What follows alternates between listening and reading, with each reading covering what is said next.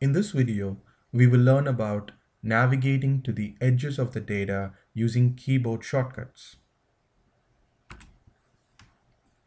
Often, when we work with data in Excel, we have the need to move quickly to the edges of the data. By edges, I mean cells in the first column or the last column or the first row or the last row. And there are also edges within the data set as well. For let's start with, for example, we these four cells A1, C1, C5, A5. So these four cells are actually the corners of the data set that we have right now. So let's see how we can quickly navigate to the four corners using just keyboard shortcuts. So now let me use my arrow key to just move to cell C5. So here we are in one of the four corners and I'm going to use the shortcut control up arrow key together. This takes me directly to C1 and what is happening is when we started from C5, C5 is a non-empty cell, which means it has some information in it. And we are trying to move in the upward direction and cell C4 is also not empty. So in such scenarios, the control up arrow quickly takes us to the last non-empty cell in this direction. As you can see here, the last non-empty cell in the upward direction from C5 is C1. So now that's how we reached the corner C1. These shortcuts actually work in all the four directions. So now from C1, I am I want to go to A1. So I can use control plus left arrow key shortcut and the same logic applies. I'm trying to go in the left direction and I am in cell C1 which is not an empty cell and cell B is also not empty. Cell B1 which is the adjacent cell is also not empty so Excel goes in this direction and finds the last non-empty cell. In this case, that is CA1. So let's see how Excel does it. So I'm going to use control and left arrow key. It takes me to A1 directly. And the same thing, let's do, uh, let's try to go from A1 to A5. I'm going to use my control down arrow key because I want to go down in the same column from A1 to A5. I'm going to do control down arrow key, which takes me to A5.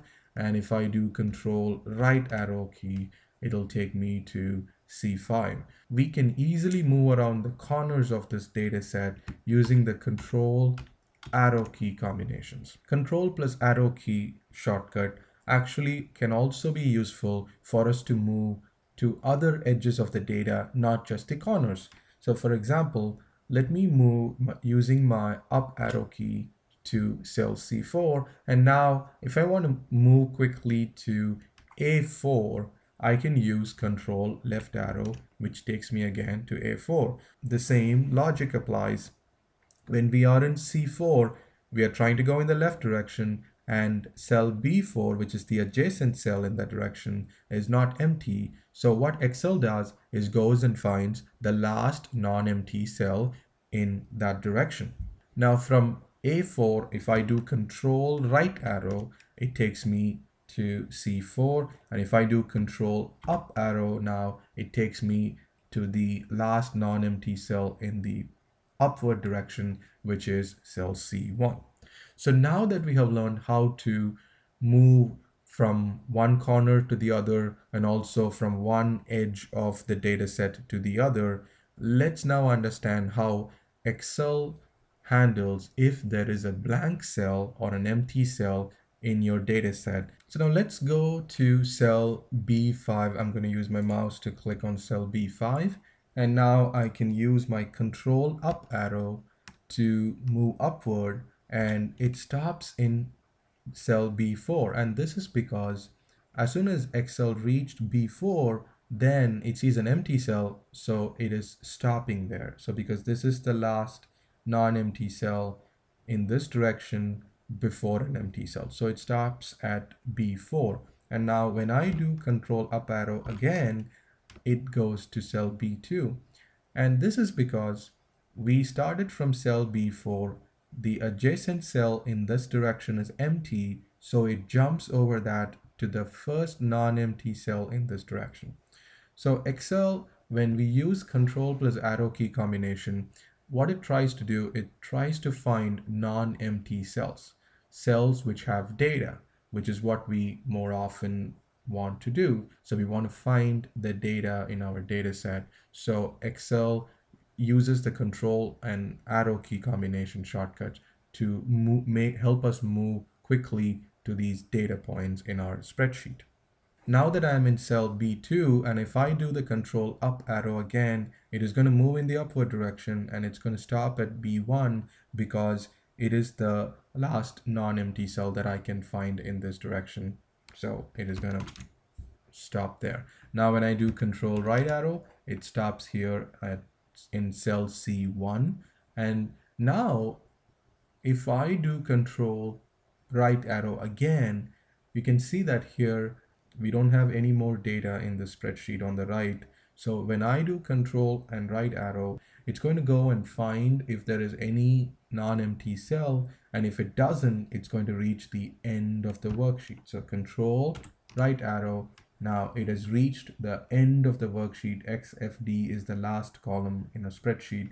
So now that is what happens if Excel doesn't find a non-empty cell. If it doesn't find any data, it's going to stop at the end of the spreadsheet.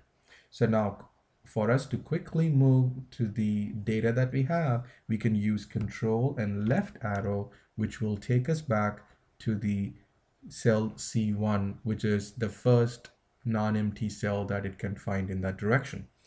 I'm going to do control left arrow again to take us back to cell A1. One more thing. So what if we use this shortcut if we are in a blank cell or an empty cell? So let's try, for example, I'm going to click here and this is cell B16. And if I'm trying to use my control up arrow key shortcut from here, what it's going to do, it's going to find the first non-empty cell. There you go. So it is very, very easy if you are in a cell which doesn't have any data. If you're trying to move to the cells with data, you can use the shortcuts to quickly navigate. So now, just to summarize what we have learned now, if your active cell is a non-empty cell, and if your adjacent cell is also non-empty, then Excel will move you to the last non-empty cell before an empty cell if there is one in the direction of your arrow key. If your active cell is non-empty and if your adjacent cell is empty, Excel tries to find the first non-empty cell in the direction of your arrow key. If it cannot find any non-empty cells and it reaches the end of the worksheet, then it will stop at the end of the worksheet. Finally, if your active cell is empty, it doesn't matter what the adjacent cell is, it tries to find the first non-empty cell in the direction of your arrow key. Again, if it doesn't find any and it reaches the end of the spreadsheet, it will then stop at the end of the spreadsheet. These control plus arrow key shortcuts can help you in quickly navigating around your data set, try, trying to find cells with data. And this can save you a lot of time when you are doing a lot of data processing and then also data analysis. You will learn how these shortcuts are going to be used in all the future videos because we're going to be using these shortcuts very often.